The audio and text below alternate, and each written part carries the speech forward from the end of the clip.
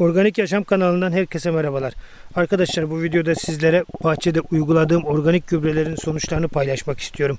Bakın biberleri de yapraktan daha çok meyve var. Bunları da tamamen uyguladığımız gübrelerden kaynaklanıyor. Buraya hiçbir şekilde kimyasal ilaç ve kimyasal gübre kullanılmadı. Burada da yaptığımız işlemleri kısaca anlatmak gerekirse toprağı hazırlarken toprağa hayvan gübresi koymuştum. Daha sonra damla sulama sistemi döşedik ve böyle saman, samanla toprak nemini korusun diye mançlama yaptım. Bu mançlama sonrasında ilk gübreleme kuru maya gübresi kullandık arkadaşlar. Maya bakterilerini toprağa vererek buradaki topraktaki ayrıştırmanın hızlanmasını sağladık. Ee, kuru maya gübresinden sonra böyle yapraklardan bir ilaçlama yaptım. Bu ilaçlamayı da çam sürgünlerinin yeni dallarından hazırladık. Daha sonra tavuk gübresiyle bir gübre şerbeti uyguladım ve yine belirli bir boyuta geldikten sonra bir ilaçlama daha yaptım. O da bildiğimiz süt ve iot karışımından oluşan bir ilaçlama. Burada kurumaya gübresini ayda bir kere kullanıyoruz. Diğer yaptığımız bütün yöntemleri 10 ile 15 gün arasında bitkinin durumuna göre kullanabilirsiniz.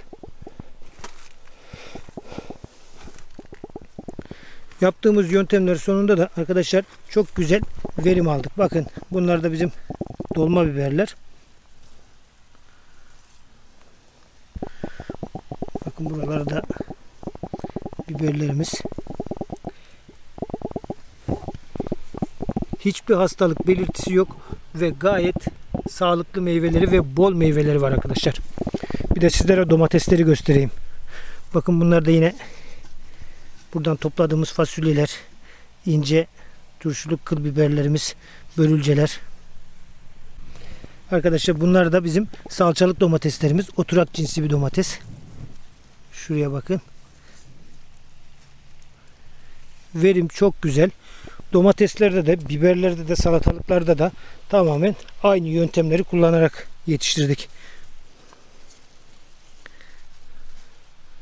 Şuralara bakın.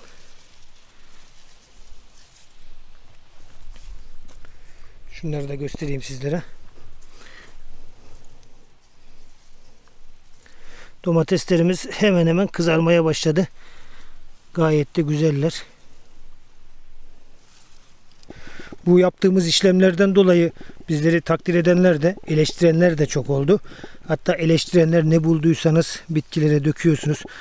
Saçma sapan işlemler yapıyorsunuz gibi yorumlar yazanlar da olmuştu. İşte arkadaşlar bu yaptığımız işlemlerin sonuçlarını sizlerle paylaştım.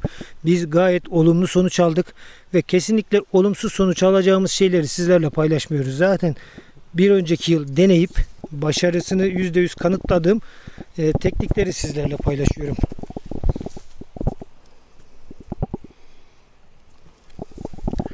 Umarım yaptığımız yöntemlerde sizin de işinize yarıyordur.